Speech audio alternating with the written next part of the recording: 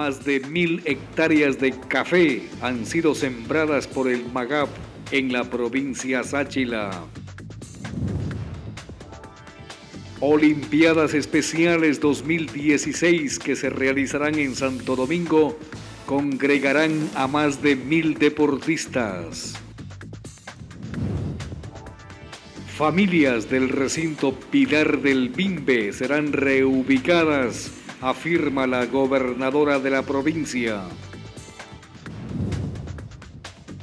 Bus interprovincial sufrió falla eléctrica y se incendió parcialmente en la vía La Concordia Santo Domingo. Hombre de 23 años murió luego de que su camión perdió pista y se volcó en la vía a San Jacinto del Búa. Avión militar con 22 personas a bordo se accidentó en la provincia de Pastaza no hay sobrevivientes. Temblor de regular intensidad se registró la mañana de este martes en Quito y poblaciones aledañas. Estos y otros temas informativos a continuación.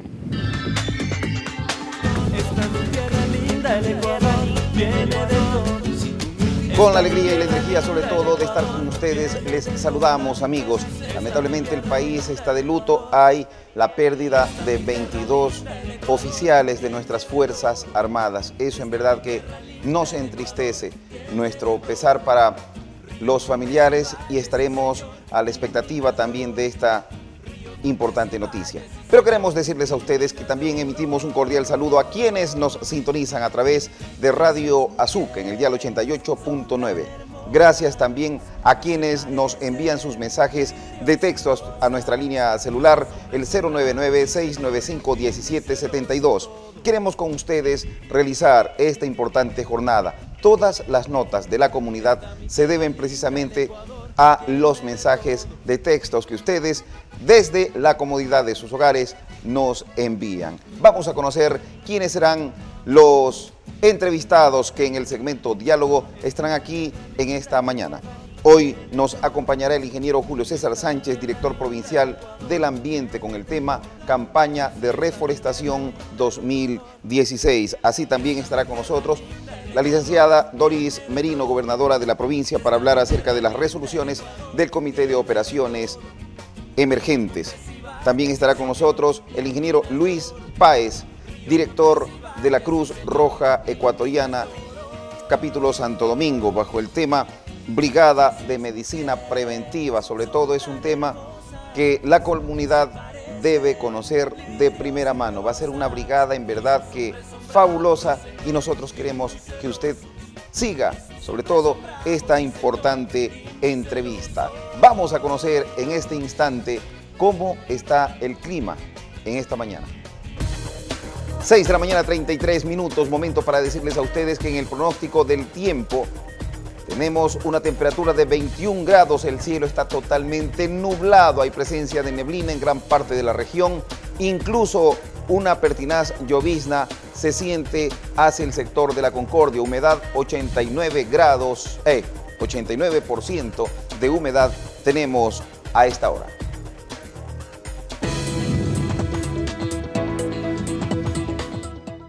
Y en el ámbito de las noticias positivas, siendo las 6 de la mañana con 34 minutos, queremos contarles a ustedes que Santo Domingo será sede de la primera feria llamada Friki Feria.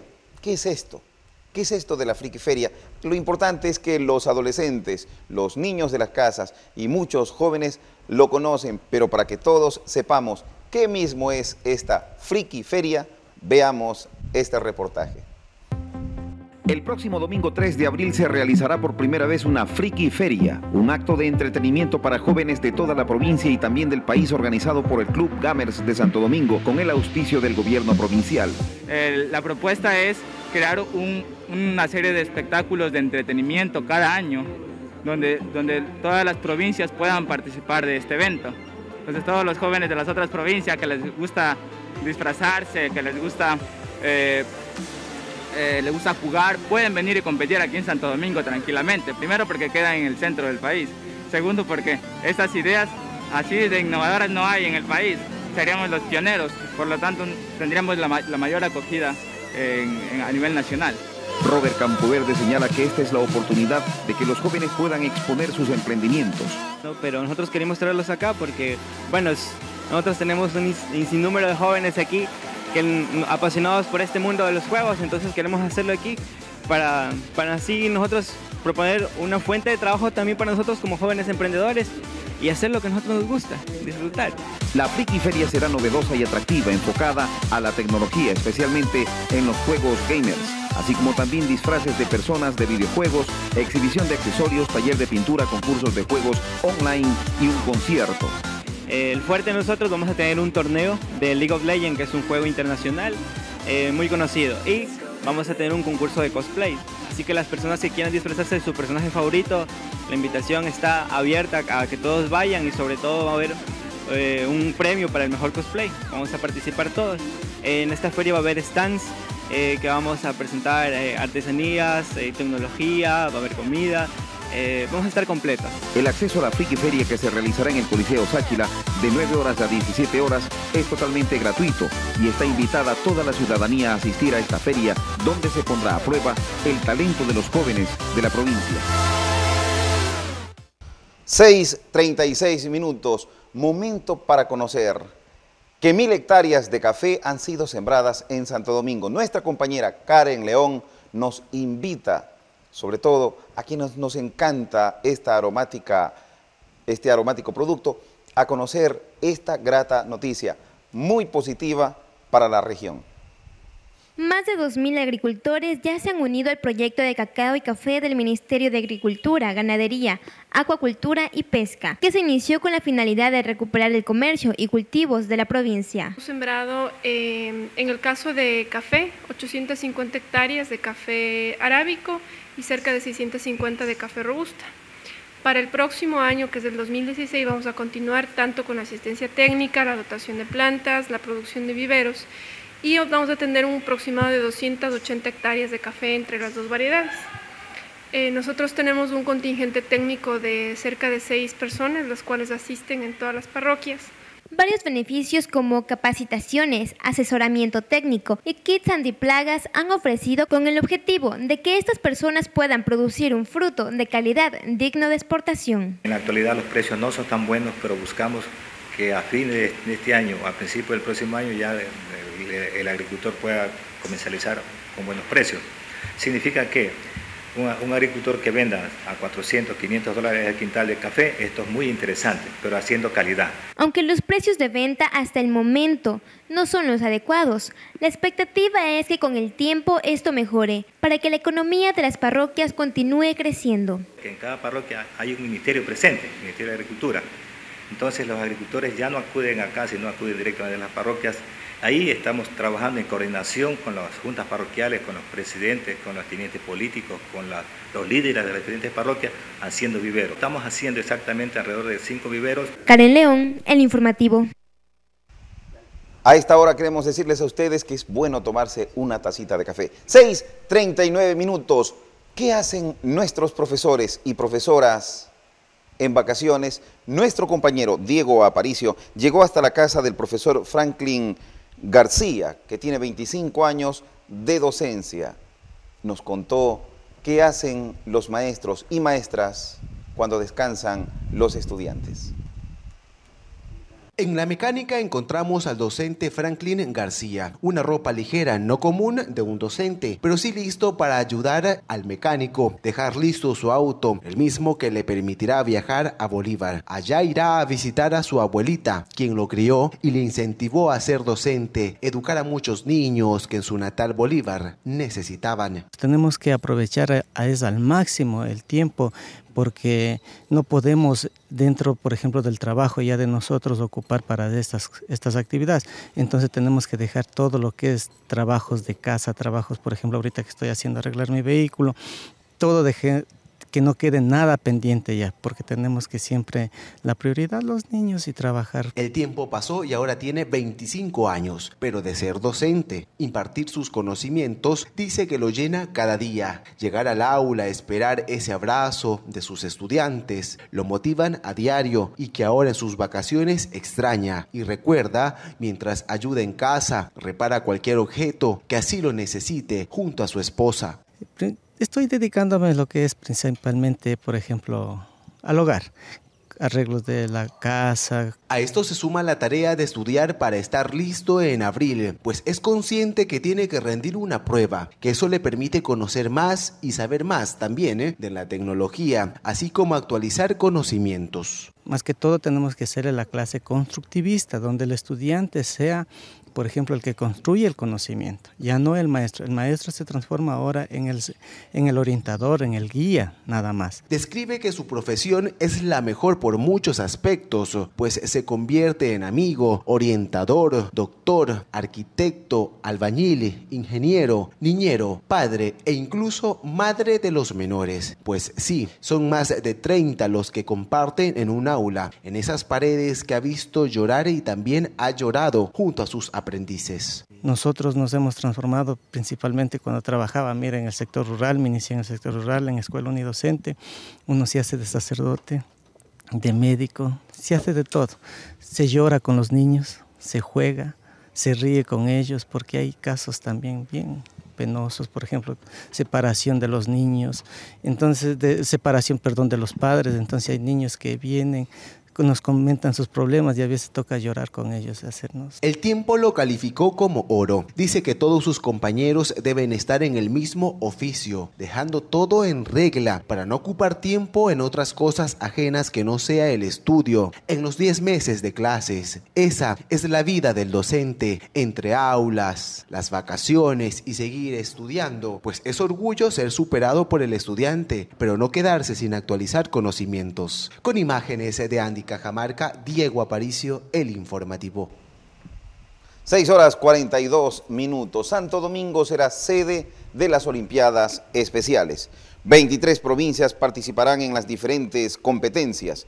Un total de mil deportistas y 250 entrenadores pernoctarán durante los días que dure la competencia en la capital de la provincia Sáchila.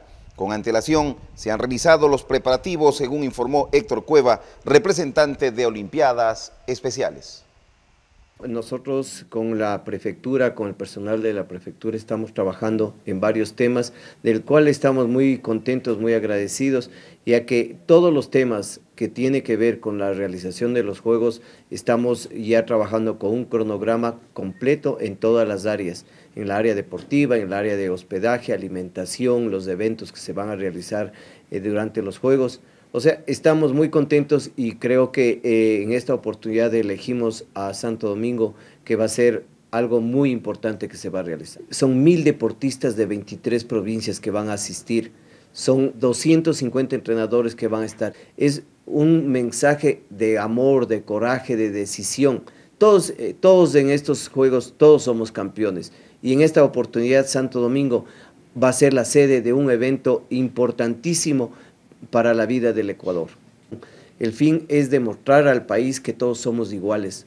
La discapacidad no es hacernos diferentes, la discapacidad es para decirle al país, todos somos iguales. Yo no me puedo olvidar hace 36 años cuando la gente no sabía nada, la discapacidad no existía y nosotros abrimos el espacio en el Ecuador y dijimos aquí estamos con el deporte para las personas con discapacidad intelectual. En Santo Domingo se van a realizar eh, fútbol, básquet, atletismo, ciclismo, natación, eh, gimnasia rítmica, gimnasia olímpica, levantamiento de pesas. Son ocho deportes los que van a participar. 6 horas 44 minutos vamos a ver los destacados de la prensa santodomingueña. Diario La Hora, tragedia militar en Ecuador. Ayer se reportó un accidente aéreo en el que murieron 22 tripulantes. La nave fue hallada en el sector de Fátima.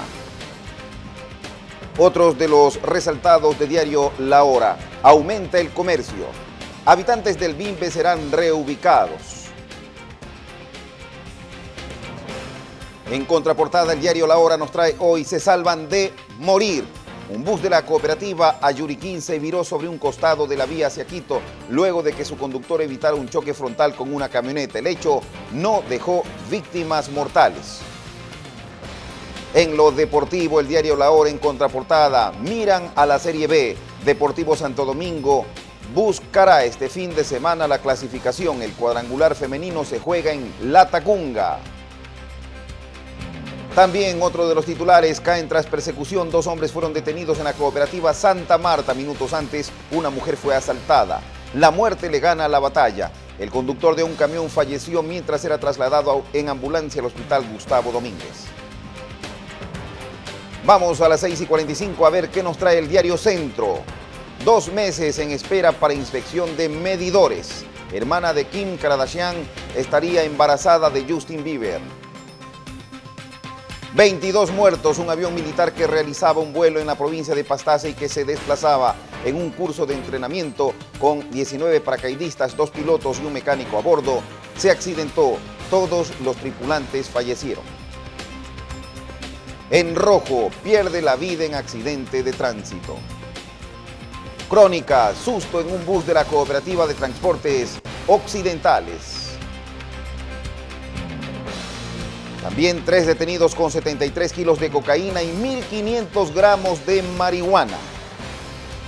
646 en contraportada, Diario Centro titula Peligra Felipao. El delantero Felipe Caicedo enciende las alarmas antes de medir a Paraguay. Y Colombia fueron los titulares de la prensa santo domingueña. A esta hora nos adentramos a los problemas de la comunidad. Líderes de Colorados del BUA exigen arreglo de carretera. Señalan que hace más de un año realizaron esta petición a la prefectura y que sus productos no pueden ser trasladados a esta urbe por el mal estado de la vía. Entre los habitantes de la comuna Colorados del Búa hay preocupación. La vía que comunica a este importante sector se encuentra en mal estado. Baches por doquier. Los conductores deben realizar malabares para evitar caer en uno de estos huecos o en el peor de los casos colisionar con un vehículo que venga de frente. Este martes estuvieron en la prefectura. Querían hablar con el titular del gobierno de la provincia y decirle que ellos existen, que son parte de esta tierra y por ende que desean ser atendidos, pues ya llevan más de un año con este petitorio y tienen cero tolerancia con esperar otro largo año más. Ya tenemos ya casi un año eh, coordinando, gestionando justamente ya teníamos un proyecto, pero no, no, no se ha ejecutado. Ya viene este proyecto, viene ya desde 2015, marzo de 2015 prácticamente, ahorita estamos en el marzo de 2016. No sé, nos dice que esperemos que pase el invierno, en el otro año no tenían así mismo, esperemos que pase el invierno, no sé por qué nos no nos atiende. Los moradores se han unido y en algunos tramos han lanzado tierra para poder parchar en forma artesanal las hondonadas que se reportan, pero los huecos se cuentan por cientos. Están molestos porque sus productos no pueden ser llevados a los mercados de la ciudad con facilidad, peor aún, con felicidad. Ya no podemos sacar nuestros productos eh, por, los ramales que existen o guardarayas porque están en pésimo estado. Ya los productos, el plátano, la yuca, diferentes productos que hay en la zona, ya, ya no se puede sacar al mercado. Para colmo de los males, las bases del puente en un pechico están deterioradas y con el riesgo de dejar totalmente incomunicados a los pobladores. Es que en el río, el río que queda antes de llegar a un pechico, hay un puente de un solo carril. Hace una curva el río y está socavando la tierra.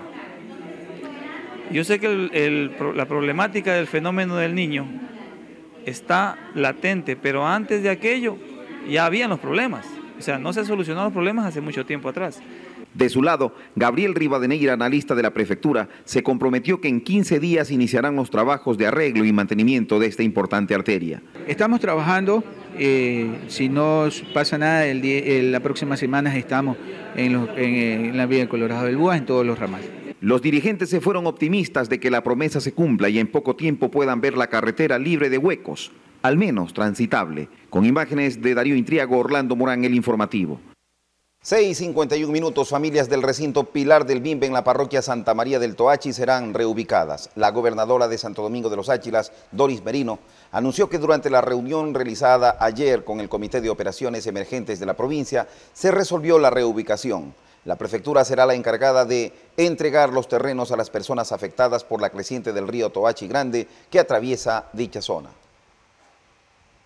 En el tema de, Pilar del Bimbe, donde pues se ha presentado prácticamente el río se ha, se ha salido, prácticamente se ha desbordado en, ese sector donde hay aproximadamente unas más de 40, más de 40 familias, eh, lo que se ha pedido es a la mesa técnica, número 3, a la mesa de trabajo eh, que, la, que la coordina el EMETOP, para que ellos hagan un informe técnico conjuntamente con la prefectura y con el, con, con este, el GAT municipal para determinar si es que hay que, hay que evacuarles a, esos ciudadanos que habitan en ese lugar eh, para ello, pues la, viceprefecta Andrea Maldonado, conjuntamente con la representación de la prefectura, ellos nos han manifestado que ellos no tendrían ningún, ningún problema en buscar el terreno o donar el terreno para que sean este, reasentadas esas familias. Obviamente de ahí ya tendríamos que articular el trabajo con, tanto con el GAT municipal como con el MIDUBI para ver de qué manera podemos nosotros ya este, que estas personas estén en un lugar más seguro. Nosotros hemos pedido inmediatamente que, que hoy mismo se reúna la mesa técnica y esperamos que ese informe a más tardar nos den el día viernes, porque obviamente tienen que ir al sitio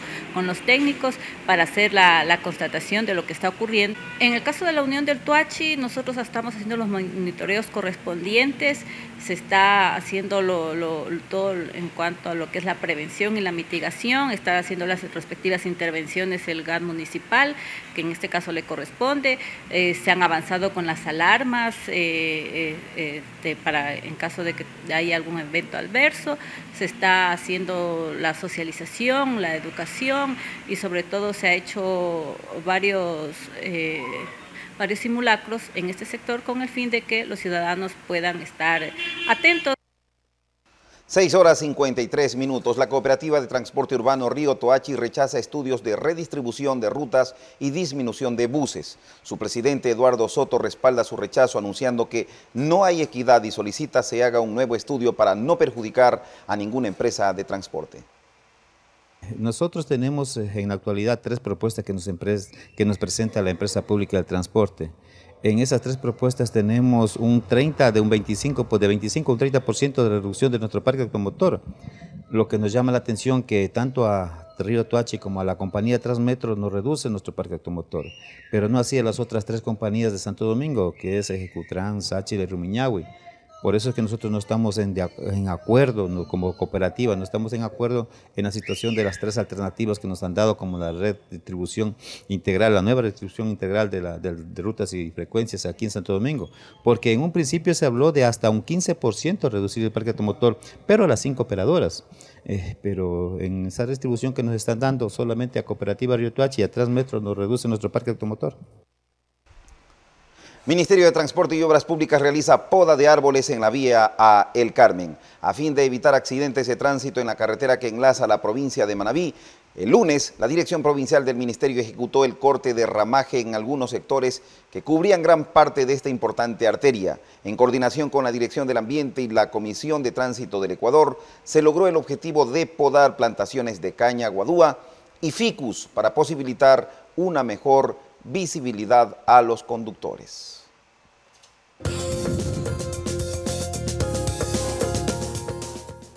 Son las 6 de la mañana con 55 minutos. Hombre de 23 años muere luego de que su camión perdiera pista y se volcara en la vía San Jacinto del Búa. El hecho se produjo la noche de este lunes en el kilómetro 6 de la mencionada vía, cerca de las 9 de la noche. El hombre resultó gravemente herido, pero antes de llegar a, su a una casa de salud falleció. Fue identificado como Alex Sanabria. Hasta el lugar llegó la grúa de la Policía Nacional que trasladó el camión hasta los patios de retención vehicular y la víctima a las diligencias de ley. Bus interprovincial sufrió falla eléctrica y se incendia parcialmente en la vía La Concordia Santo Domingo. De acuerdo a la información de la Comisión de Tránsito del Ecuador, una falla en la combustión se produjo cuando el bus circulaba con destino a Guayaquil a la altura del kilómetro 148 de la vía estatal E23. Hasta el lugar llegaron efectivos del Cuerpo de Bomberos y de la CTE quienes reportaron que no hubo personas heridas, solo daños materiales en la unidad, mientras que los usuarios tuvieron que esperar a otra unidad de transporte para seguir con la ruta marcada. 6.56 minutos.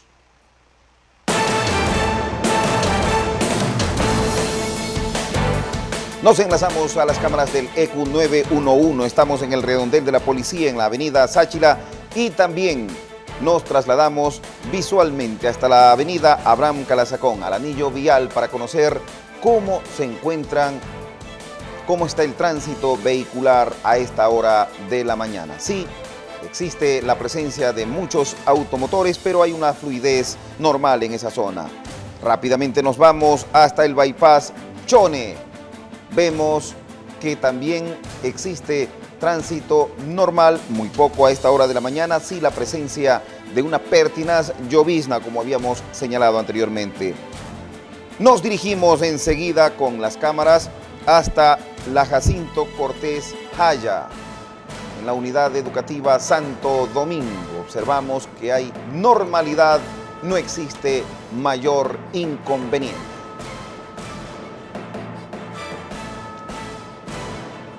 Gracias por estar en sintonía de Majestad TV.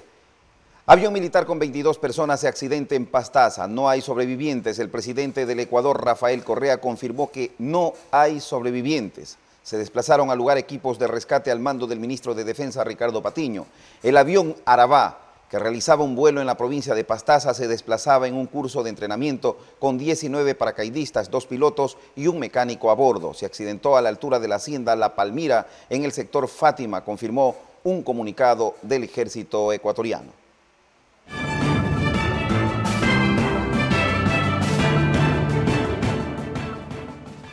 El COE provincial realizó una evaluación de las últimas emergencias reportadas en la provincia Sáchila.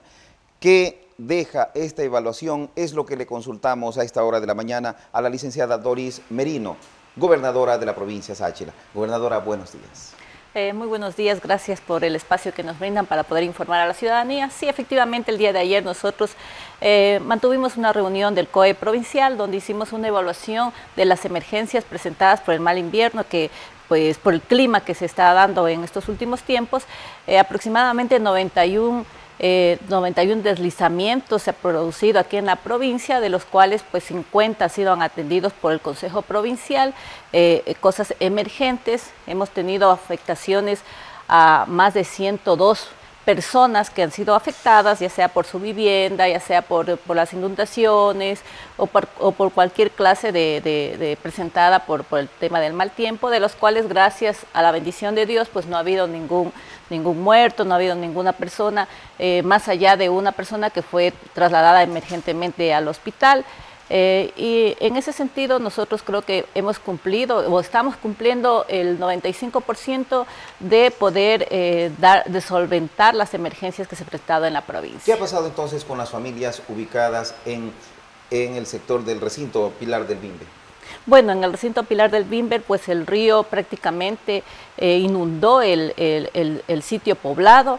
Ahí pues hemos pedido un informe técnico a la mesa número 3 para que ellos determinen que si es que hay que hacer un reasentamiento, reubicación de esas familias que son más de 40 familias que se encuentran ahí, eh, este, pues hemos conversado ya con el Consejo Provincial, en este caso la viceprefecta Andrea Maldonado se ha comprometido en que el Consejo Provincial no tendría eh, ningún, ningún reparo en poder eh, donar un terreno donde se los pueda reubicar. Obviamente la reubicación debe ser en sitios muy aledaños por el hábitat de ellos y por su convivencia diaria y sus cosas que realizan eh, eh, diariamente en el sector. Hasta el momento, ¿qué se ha hecho allí eh, por parte del Estado? Bueno, en este caso nosotros hemos hecho la intervención con el MIES, con, con Santo Domingo Solidario y el patronato, se ha hecho la intervención de atenderles tanto en medicinas como también en, este, en enseres, en, eh, colchones, vituallas, alimentos. Eh, estamos ahí y hay que, hay que este, informarles a la ciudadanía que pues el MIES cuenta con, con con, todo este contingente en caso de que ya está preparado. Estamos todas las instituciones preparadas en caso que las emergencias o que las lluvias continúen con mayor fuerza. Y allí en Santa María del Toache ya se tenía previsto que precisamente podría ser un área a afectarse producto del fuerte invierno. Fíjese que casi no, o sea, eh, en, temporadas del año pasado se nos presentó algunos fuertes vientos, pero no se nos había presentado eh, eh, prácticamente las inundaciones o que el río prácticamente se comiera gran parte del espacio donde habitan estas personas. Bueno, el Consejo Provincial, una forma de mitigar este, en forma inmediata y dar solución lo que ha hecho el desasolve de ese río, eh, que, realmente es una hora de mitigación, pero por eso estamos esperando el informe técnico para que ellos determinen que si hay que reubicar a esas personas con el fin de, salvaguardar sobre todo la vida de estos ciudadanos. Las autoridades del GAT parroquial de Santa María del Toache habían solicitado incluso la declaratoria de emergencia para poder precisamente actuar inmediatamente en esta materia. Bueno, las declaratorias de emergencia las hacen los gobiernos eh, provinciales, gobiernos municipales. Nosotros no podemos declarar de emergencia. Ellos pueden, eh, con una declaratoria de emergencia, eh, mover ciertos recursos que de pronto estaban destinados para otras obras o para, según la planificación, para otras cosas de pronto que también son importantes, pero tienen que dar prioridad a, a las cosas emergentes. Gobernadora, cambiando de tema, mañana jueves 17 está prevista una marcha a nivel nacional por parte de sectores de la oposición. Aquí en Santo Domingo los trabajadores han señalado también la participación en la misma. ¿Qué, ¿Cuál es el pronunciamiento de la representante del Ejecutivo en la provincia en torno a esto? Bueno, nosotros qué más que este gobierno que ha sido totalmente eh, democrático, eh, que se ha dado todas las libertades para que puedan expresarse, nosotros no somos quienes vamos a retener una marcha que ellos que ellos desean hacer. Más bien, yo, lo que nosotros hacemos es un llamado al diálogo, llamado a, informarse de mejor manera y no a dejarse manipular por ciertos dirigentes que eh, siempre están buscando algún, de alguna manera réditos políticos o otro, o otro tipo de, de situaciones. Nosotros aquí en Santo Domingo pues vamos a demostrar con trabajo, lo estamos demostrando con trabajo, vamos de pronto eh, nos juntaremos de pronto a hacer un análisis o a hacer un diálogo o de pronto haremos una, feria ciudadana, pero nosotros nos vamos a mantener aquí en el territorio, obviamente eh, vigilantes, que, haya una que haya una pacífica marcha si la van a realizar, porque de eso eh, nosotros tenemos que garantizar la seguridad interna de nuestra provincia. Gobernadora, ¿cómo entender que un gobierno está trabajando en beneficio del pueblo y sobre todo del sector laboral cuando precisamente son los trabajadores, la dirigencia y todas sus centrales las que están pugnando precisamente en protesta del régimen. No todas, eh, yo creo que son ciertos sectores y ciertos dirigentes, porque eh, lamentablemente vemos que, de pronto la dirigencia que, ha estado encabezando pues eh, viene, de, ciertos partidos políticos que, han estado permanentemente este, hostigando a cualquier gobierno que, se que ha habido. En este caso, nosotros que somos un gobierno inclusivo, un gobierno que buscamos ante la situación económica que está viendo el país, buscamos alternativas para que los trabajadores en su mayoría puedan mantenerse en sus trabajos y las empresas puedan seguir de, este, de alguna manera manteniendo esa, eh, ese, ese nexo y ese lazo laboral para todos, porque obviamente nosotros como gobierno nos preocupamos cuando hay el desempleo, pero este es uno de los países que mayor inclusión ha habido en, el, eh, en cuestiones de empleo y disminución del desempleo en comparaciones a, años anteriores. Y eso demuestra de que la política de Estado está llegando realmente donde debe llegar. Pero no hay preocupación en el gobierno tomando en cuenta que la campaña que han realizado los sectores opositores como que van ganando adeptos. Cuando salimos a las calles, cuando nos trepamos en un bus, cuando vamos al mercado, es un malestar generalizado. Al parecer, pues se señala incluso un desgaste del gobierno nacional. Yo, eh, yo creo que no es un, eh, yo creo que no es un desgaste del gobierno, es, es eh, ciertas dirigencias, pues que de pronto con algunas, podemos decir algunas mentiras que también se que, que, las difunden, que no, que no son cuestiones asertivas en beneficio de, del país y que quieren el retroceso, obviamente, del país para seguir gobernando ciertos grupos de poder, eh, de alguna manera van socavando esta, esta, eh, este buen gobierno que, con, todo, con todos los nueve años de revolución que, ha logrado cambiar gran parte del país y que no es fácil cambiarlo en nueve años, pero sin embargo nosotros como decimos somos muy democráticos. Eh, en ese sentido nosotros, eh, si es que las personas desean salir a marchar, pues lo harán pero nosotros, eh, nuestra función es justamente velar por la seguridad y por la paz y la convivencia de nuestra provincia y eso lo haremos. Es que la campaña, en cambio, del gobierno nacional no, habría tenido, en cambio, no habría posibilitado neutralizar precisamente estas voces. Al parecer, pues allí como que existiría también cierta falla, gobernadora. Sí, debemos, eh, somos, somos este, seres humanos con muchos defectos y virtudes, yo siempre digo, ¿no? Y tal vez tengamos algunas fallas que de pronto tendremos, tendremos que corregir. No, no es nada perfecto y jamás hemos dicho que este gobierno ha sido perfecto. Este gobierno ha sido la construcción de la inclusión, de la equidad y de la justicia. Y poco a poco, pues, yo, al menos nosotros cuando vamos a las, a las conferencias ideológicas, vemos que mucha gente se suma y ahí podemos de alguna manera informar lo que está haciendo el gobierno porque recordemos que muchas personas de pronto no tienen memoria histórica y lo que ha pasado durante, antes de los nueve años del gobierno de la Revolución Ciudadana. O es que también ha faltado ese liderazgo por parte de las gobernaciones, tal y como el presidente en muchos eh, enlaces sabatinos lo había señalado. El protagonismo de las gobernaciones, ese liderazgo que pedía, y también el presidente Correa en algunas ocasiones estaba preocupado por la burocratización de la revolución ciudadana.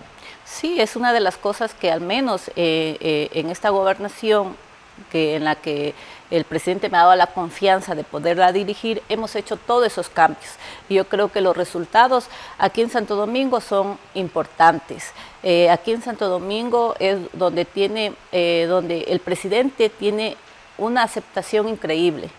Eh, y por eso él anteriormente hizo algunas visitas y próximamente estará también visitándonos, es porque justamente hay ese respaldo y hay ese apoyo y hay ese reconocimiento al cambio que ha habido durante estos nueve años aquí en Santo Domingo y sobre todo con el gobierno y el proyecto de gobierno. Agradecemos la presencia suya, gobernadora, la licenciada Doris Merino ha estado con nosotros pasando revista a los temas prioritarios que está atravesando Santo Domingo y también en el ámbito político. Volvemos enseguida con otra importante entrevista aquí en Diálogos del Informativo.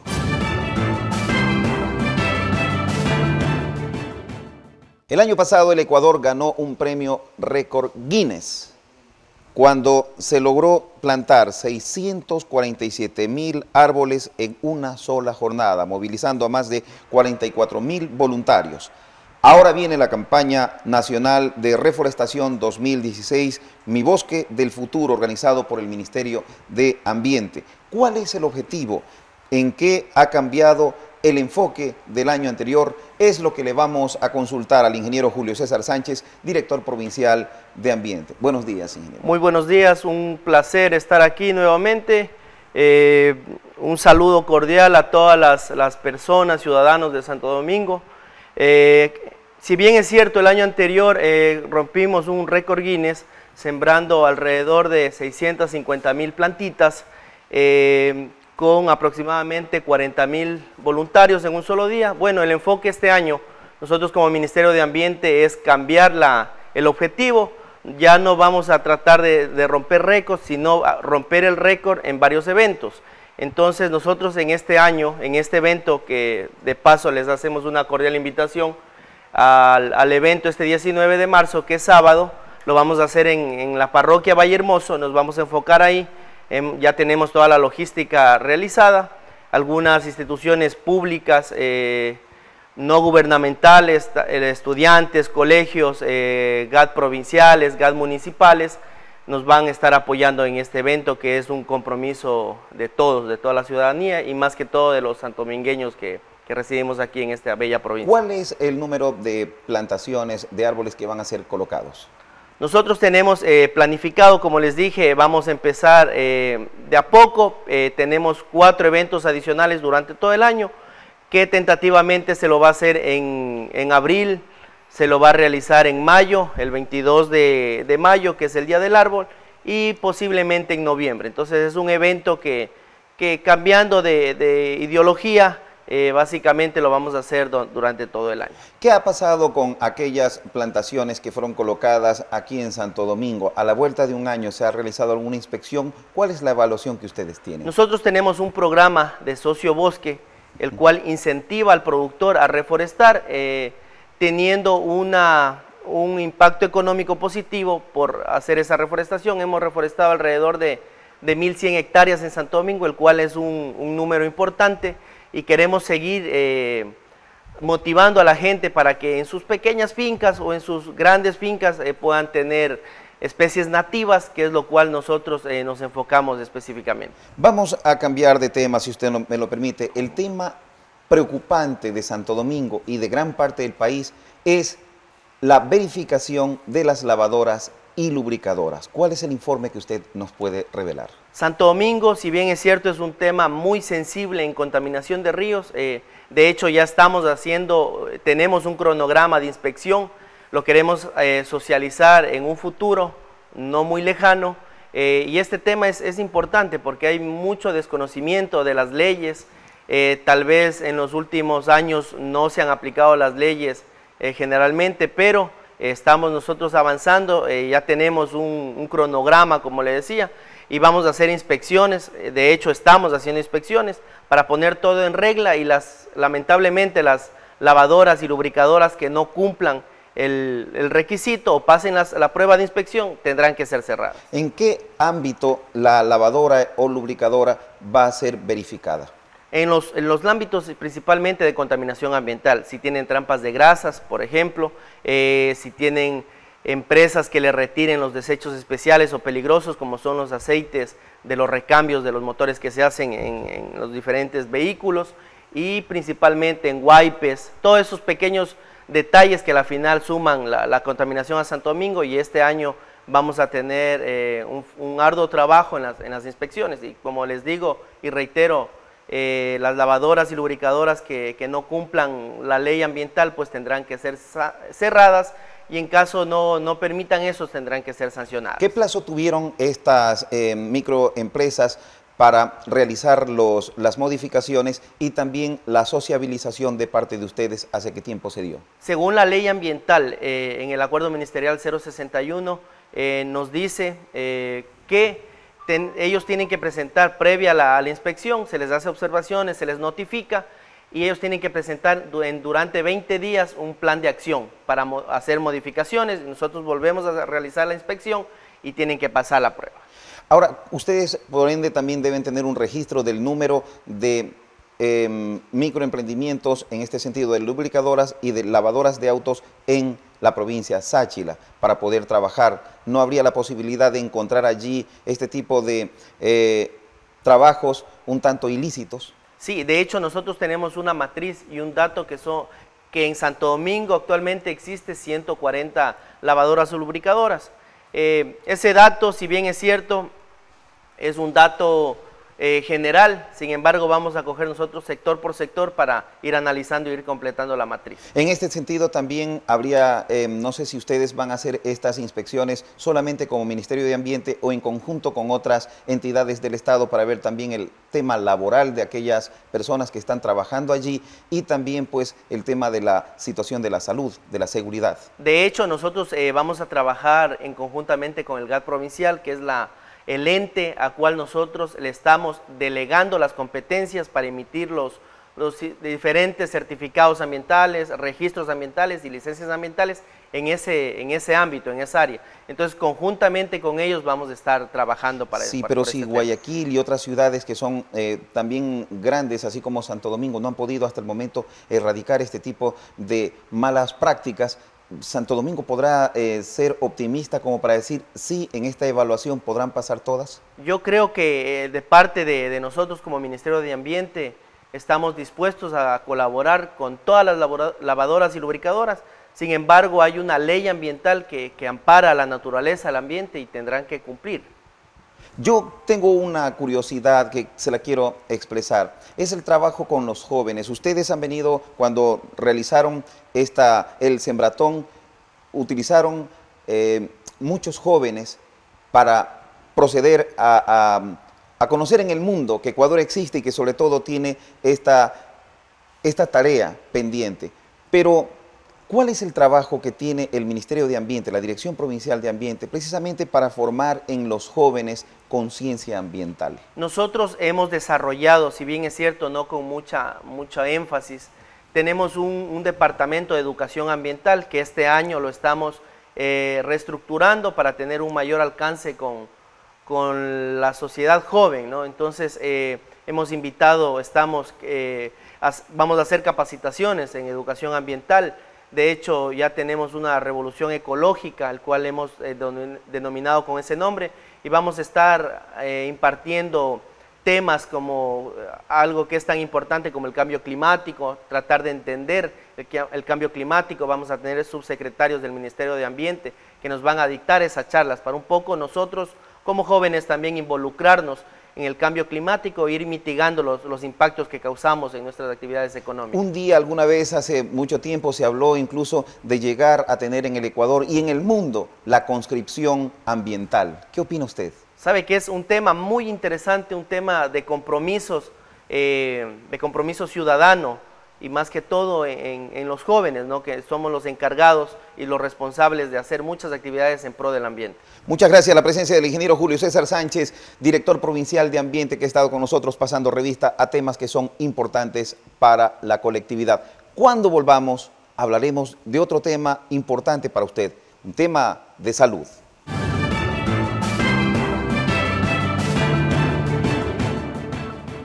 Hay temas importantes en la política, temas importantes en la comunidad, pero también importante para todos nosotros debe ser el tema de la salud. Hoy miércoles empieza una campaña, una brigada médica preventiva. Así que la mayoría de los santodomingueños, todos los santodomingueños, estamos convocados para ello. Ahora nos acompaña el ingeniero Luis Páez, presidente de la Cruz Roja de Santo Domingo, para hablarnos precisamente de este importante tema. Bienvenido, ingeniero. Háblenos acerca de esta brigada de medicina preventiva. Buenos días, muy agradecido por la invitación. Efectivamente, la Cruz Roja de Santo Domingo, empeñada en ayudar a las clases más necesitadas del país más necesitadas de justo de aquí de la comunidad nuestra, hemos implementado un convenio con la laboratorio John Pharma, en el cual nosotros estamos brindando una atención medicina preventiva. Significa esto que nosotros vamos, eh, un grupo de médicos muy prestigiosos que vienen trabajando ya en todo el país, vienen acá a Santo Domingo y durante los días de hoy, miércoles, jueves, viernes y sábado, van a, aplicar una política preventiva de medicina. Esto se refiere a que vamos a hacer una serie de exámenes eh, médicos y fundamentalmente ecografías. Ecografías para prevenir enfermedades del hígado, de los riñones, de vesícula, de todo el aparato pélvico y inclusive en el caso de los hombres vamos a hacer exámenes de próstata, también eh, ecografía y en las mujeres también de útero. Eh, la, la idea nuestra es que precisamente muchas veces un hombre a los, desde después de los 35 años requiere hacerse exámenes anuales de próstata. Y las mujeres, lógicamente, cuando ya iniciaron su actividad sexual, también deben hacerse exámenes de, útero. Claro, eh, ingeniero, estaba contabilizando, en total son seis las ecografías que, los exámenes que van a realizar. En el caso pues, de los varones serían cinco. Este paquete de ecografías, de exámenes, en el caso de los varones, ¿cuál es el costo? El, costo por todos estos exámenes con un reporte que va a llevar cada paciente es de 10 dólares. 10 dólares. Cabe mencionar que se me olvidaba uno de los puntos importantes, osteoporosis.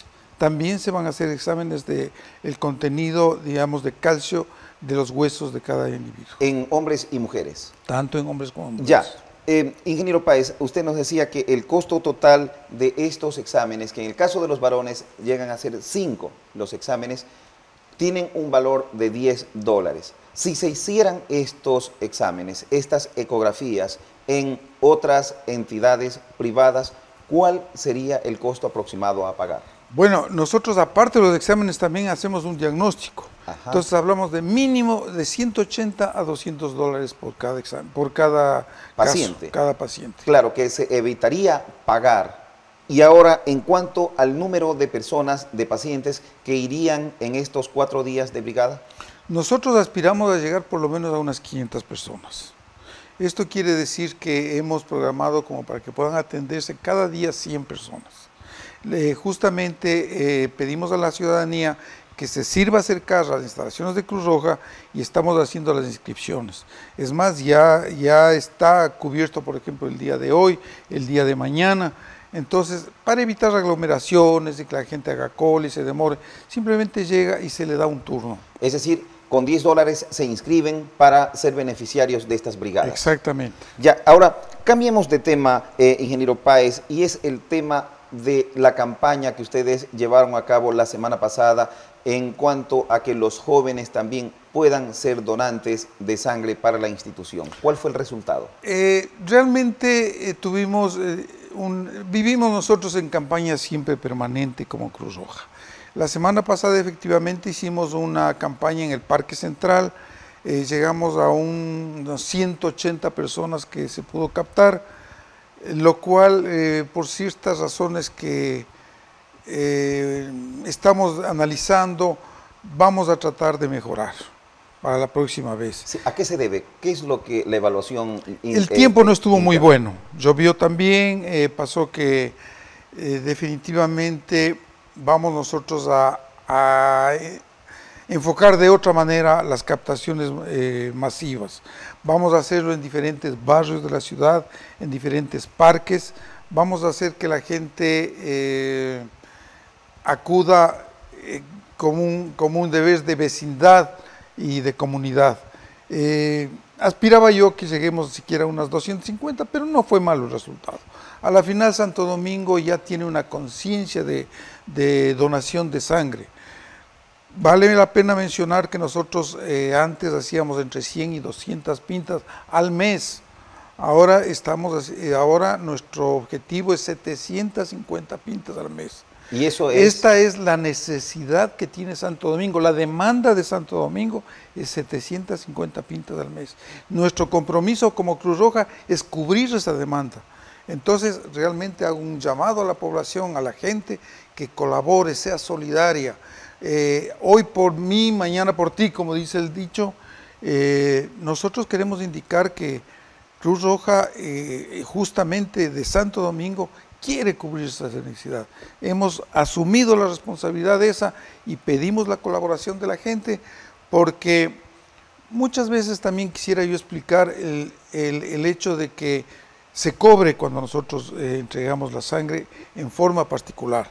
Cuando viene una orden del Ministerio de Salud o del IES, se entrega gratuitamente. ¿Por qué? Porque tenemos convenio con ellos.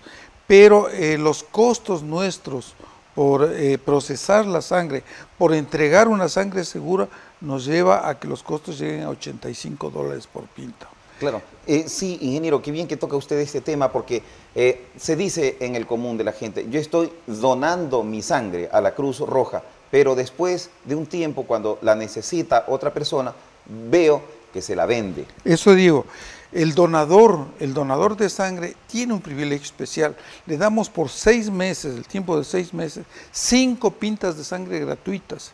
Le entregamos sangre para sus hijos y para sus padres mayores de 65 años. La idea es que premiemos a quien dona la sangre. Pero en los otros casos, nosotros nos cuestan los reactivos, nos cuesta la funda, nos cuesta el personal que está trabajando, eh, de manera que lo más importante de todo es que entregamos una sangre segura. Usted sabe ahora con la contaminación que puede haber por VIH, por eh, problemas de hígado, entonces entregamos una sangre absolutamente eh, comprobada que no tiene ninguna contaminación. Garantizada. Ahora hay otra preocupación, ingeniero Páez, y es que conversaba con gente que hace Cruz Roja en, en todo el Ecuador, es el hecho de que esta juventud ahora está pugnando por hacer de su piel, pues por tatuarse la piel precisamente, cuán nocivo o cuán peligroso es esto de tatuarse la piel y luego pues ser, pasar a ser donante? Bueno, nosotros evitamos eh, gente que esté tatuada en los últimos tres meses. Cuando ya ha pasado ese periodo, no hay ningún problema porque se ha comprobado que no, no, no va a pasar ningún, eh, no, no, va a transmitir ninguna infección. Claro, que no ha sido contagiado tampoco por medio de las agujas y que pueda ser un peligro. Así es, después de tres meses ya no hay ningún problema. Eh, cabe también mencionar pues que la sangre es un elemento vital que únicamente dura 30 días, no se la puede guardar más. Entonces nosotros tenemos que hacer un proceso de, de recambio todo el tiempo. Y no tiene ningún problema la salud, ni de las mujeres, ni de los hombres, no dejan de ser fértiles, no, no, pierden su vigor sexual, no hay ningún problema en eso. Créame que hay muchos mitos que realmente confunden a la gente. Claro, y es que es nuestra falta de formación precisamente, pero una campaña en los medios de comunicación precisamente, ingeniero, podría llegar a concienciar a la colectividad y a formarla precisamente para romper estos mitos que nos hacen daño a todos. Sí, realmente agradecemos nosotros la colaboración de los medios, de la televisión, que nos colaboran todo el tiempo. Queremos nosotros nombrarles, por ejemplo, para una próxima campaña, padrinos de la campaña, que nos ayude, por ejemplo, Majestad, que estemos en el sitio, que vea la gente cómo es el proceso de entrega de sangre. En 10 minutos la gente desocupa, se desocupa, entrega, da su aporte humanitario. Nosotros fundamentalmente como Cruz Roja somos humanitarios, estamos para servir a la ciudadanía, estamos para servir al hermano eh, al ser que está eh, necesitando. Claro, no solamente, ingeniero Páez, la donación de sangre se hace cuando ustedes realizan campañas, sino durante todos los días de la semana, la persona que quiera ser voluntario, donante voluntario, puede acudir. Todos los días estamos recibiendo nosotros, estamos viajando, estamos siempre en el hospital eh, Domínguez, estamos en el IES, estamos en los parques principales recibiendo donaciones. Santo Domingo tiene que dar un ejemplo. Somos la tercera ciudad del país en cuanto a recepción y donación de sangre. ¿Desde qué edad hasta qué edad máxima puede ser una persona donante? Desde los 18 años hasta los 65 años. ¿Por qué desde los 18 años? Eh, porque es un tema también, primero físicamente tiene que estar eh, totalmente apto. Segundo, eh, hay casos en los cuales se puede recibir a, chicos de 16 años con permiso de sus padres. Y también nosotros cuidamos de que se cumplan ciertos requisitos en cuanto a peso, en cuanto, como le decía, esto de la edad. Y cada vez que la persona dona, le hacemos primero un pinchazo pequeño para eh, conocer la cantidad de glóbulos rojos que tiene. En cuanto a la prevalencia de los tipajes de sangre, ¿cuáles son los tipos de sangre que más existen en Santo Domingo y cuáles en cambio los contrarios? Son estadísticas a nivel mundial, a nivel nacional, en los cuales los, eh, la sangre positiva, A positivo, cero positivo o positivo que le llaman también, son los que más hay. Los difíciles son los RH negativos. Esos son los más difíciles que no llegan ni al 5%. Entonces, la ventaja es que nosotros tenemos un hemocentro, que es el centro de, recepción de toda la sangre de todo el país, está en Quito. Entonces nosotros la sangre que se recibe aquí a Quito, inmediatamente la mandamos a Quito. Todos los días hay una camioneta que hace los viajes y trae sangre procesada y segura. Es decir, si hay, hubiera y existe a veces casos de que gente que se está operando, un parto difícil, necesitan tres pintas de sangre urgente, en el, por lo general tenemos una reserva nosotros aquí y la entregamos al Hospital Domínguez y la entregamos al, IES, pero a veces no hay. En máximo 24 horas, aunque sea, conseguimos sangre en el, en el oriente, en Loja, y lo traemos para, servicio de ciudadanía. Muchas gracias. La presencia suya, ingeniero Luis Páez, que ha estado con nosotros, el presidente de la Cruz Roja Santo Domingo, haciéndonos primero la invitación para esta brigada de medicina preventiva que con 10 dólares puede beneficiarse de muchos exámenes, sobre todo la gente de condición económica extrema. Y también la invitación para que todos los santodomingueños seamos donantes de sangre. Hay posibilidad de salvar la vida, no solamente a nuestra familia, sino también a nuestros vecinos. Volvemos enseguida con ustedes. Una persona nos ha enviado un mensaje del número celular que termina en 614.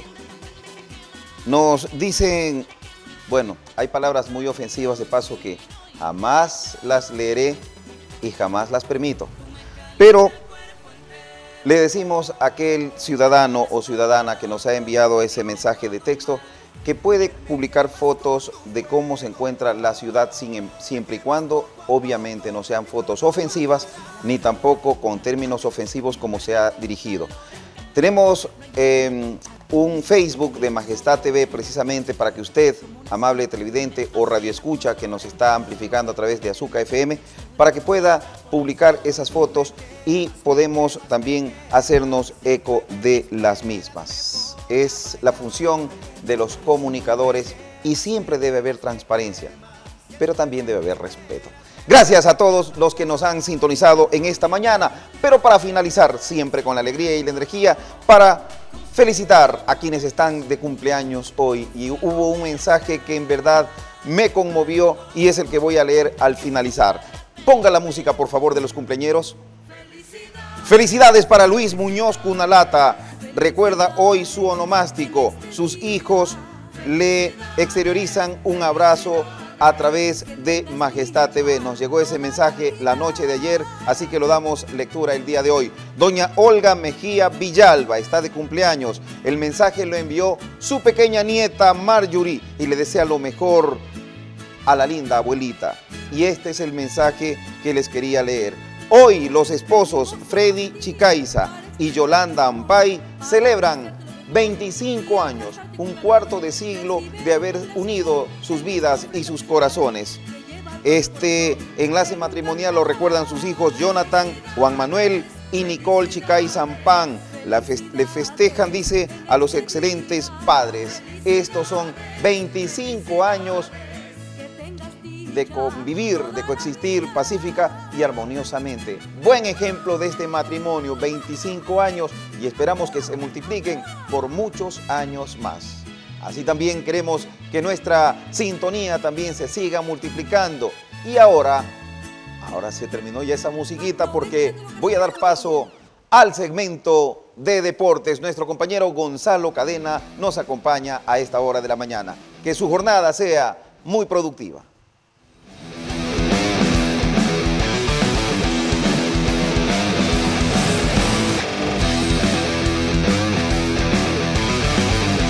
Tenemos información del torneo de Baby Su Majestad el Fútbol que entra a su fase culminante en cuanto a la etapa clasificatoria. Compartimos eh, encuentros del pasado fin de semana de la categoría Sub-9. El cuadro de Chichos Junior que viste de uniforme azul y blanco se enfrentó ante el representativo de FEDES, de Federación Deportiva de Santo Domingo de los Águilas. Triunfo para Chichos Junior, por eh, perdón, para FEDES, para el cuadro verde y rojo por 10 tantos a 3. El cuadro de Fedez logró marcar las anotaciones por intermedio de Slater Mora en cuatro ocasiones. Reiteramos, el equipo de Fedez del uniforme verde y rojo. Cuatro goles de Slater Mora, dos tantos de Javier Delgado, dos anotaciones de Clever Zambrano. También sumaron un tanto cada uno, Juan Mendoza y Oliver Aveiga. Mientras tanto que por Chichos Junior descontó Snyder San Martín en dos ocasiones y Paolo Mera en una oportunidad. Resultado final de la categoría sub-9 Fedes 10, Chichos Junior 3. Esto fue lo que expresaron los protagonistas eh, del encuentro. Estuvo muy buena porque los pases, todo, sí estuvo bien. Muchos goles en ese partido, ¿no? Sí. ¿Marcaste cuántos goles? 10. ¿Cuántos goles anotaste? Ah, cuatro. ¿Y a quién le va dedicado esos goles? Ah. ¿A quién le dedicado esos goles? A mi papi. ¿Qué me dices de ese partido, mijo? Muy bien, los pases, todo eso estuvo muy bien. ¿Se cumplió con todo lo que dijo el profesor en la cancha? Todo. ¿Qué tal te pareció el equipo rival? Bien, sí estuvo bien. Eh, a la afición, a la barra, ¿qué le dices que le estuvo respaldando hoy Estuvo bien, sí. ¿A quién le dedican esa victoria el día de hoy? Yo, a mi mamá, a mi papá y a mi hermana. Hemos perdido, pero el otro, el otro partido toca mejorar. Pero no hay que desmotivarse, hay que seguirse preparando, ¿no? Sí. ¿Qué le dices a tus compañeritos para los siguientes encuentros? Que, que tenemos que ganar en el otro encuentro. Que, ¿Qué les había dicho el profesor antes del partido? Que mejoremos bien para que no que, que ganemos. Eh, toca mejorar. Aunque perdieron, se divirtieron, ¿no? Sí. Hay que sacarle provecho a las vacaciones. Sí. ¿Qué le dices a tus compañeritos para los siguientes encuentros? Que, sí. Tiene que ir a entrenar. Eh, ¿Quién te vino a acompañar el día de hoy acá a la cancha? ¿Qué le dice a tu papi? Que bien me enseñó un poco. Y, y que, que a mí me, me va a hacer entrenar ahí en la cancha. Y tenemos más imágenes del torneo de Baby Su Majestad el Fútbol, partido desarrollado el día sábado anterior en la categoría de los 10 años. El cuadro de Sociedad Deportiva Municipal que vistió de rojo de manera íntegra superó por 7 tantos a 3 a Pinto y K9 que lució camiseta blanca y pantaloneta roja. Destacaron con tantos marcados a favor de Sociedad Deportiva Municipal el jugador Jordi Sánchez, 5 goles marcó, fue la figura del compromiso con su gran producción goleadora. Eri Prado también se hizo presente con un tanto, al igual que Andri Rojas con una anotación. Pinto y K9 llegó al gol, a los goles del descuento por intermedio de Daniel Barragán en una ocasión. El jugador Darwin Mendoza también fue autor eh, de una conquista y Steven Delgado eh, marcó una cuota personal para de esta manera determinar el resultado final del encuentro. Sociedad Deportiva Municipal 7, Pinto y K9 3, partido jugado el sábado anterior por la categoría sub-10. El escenario de estos encuentros es la cancha sintética las 5. Estas fueron las expresiones de los jugadores que destacaron en este encuentro. Bien, eh, ¿cómo se llama? El partido estuvo muy duro, eh, así se juega y se, así se pierde y se gana. Se tiene que aprender a perder y ganar y por eso eh, ahí me esforcé eh, que sea para meter un gol y, ahí jugamos duro el, partido. Bueno, se vendrán otros partidos de revancha, ¿no? ¿Mandé? Vendrán otros compromisos para tomarse la revancha, ¿no? Claro, ahí sí, ahí, ahí sí, ya nosotros, ahí, ahí sí nosotros ya no tomamos el, el punto ya de ganar. ¿Qué tal te pareció el partido? Bien, muy duro. Hay que aprender a ganar y a perder. ¿Qué piensas, eh, qué opinas del equipo rival? Que juega muy bien. Eh, hay que seguir entrenando. ¿Qué mensaje le da a tus compañeros? Que sigan entrenando para ganar el campeonato. Duro, pero se logró, se logró ganar. El... ¿Qué les había dicho el profesor antes del encuentro? Que topemos, que juguemos duro, que probemos al arco y que hagamos los goles. ¿Todo eso se cumplió? Sí. ¿Tuviste la oportunidad de marcar algún gol? Sí. ¿Cuántos goles? Cuatro. ¿Y a quién va a dedicar los goles? A mi mamá, a mi papá y a mi, y a, y a, y a mi, y a mi abuelito y a mi abuelita. ¿Qué me dice de este partido, de esta victoria? Bien, bien duro. Hay que aprender a ganar y a perder. ¿Eh? ¿Cómo? ¿Te divertiste? Sí. Estás sacándole provecho a las vacaciones, ¿no? Sí. ¿Qué piensas de, de este torneo? ¿Van a ser campeones? ¿Van a llegar al final? Sí, sí. ¿Y para conseguir lo que deben hacer?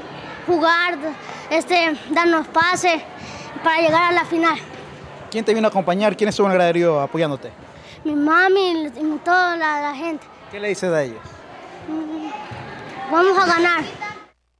Invitación para que continuemos respaldando a los niños que participan del torneo de Baby Su Majestad de Fútbol. Este día viernes inicia la cuarta semana de competencias de partidos oficiales. Lo despedimos, gracias por su gentil atención, que tengan una excelente jornada. Buenos días.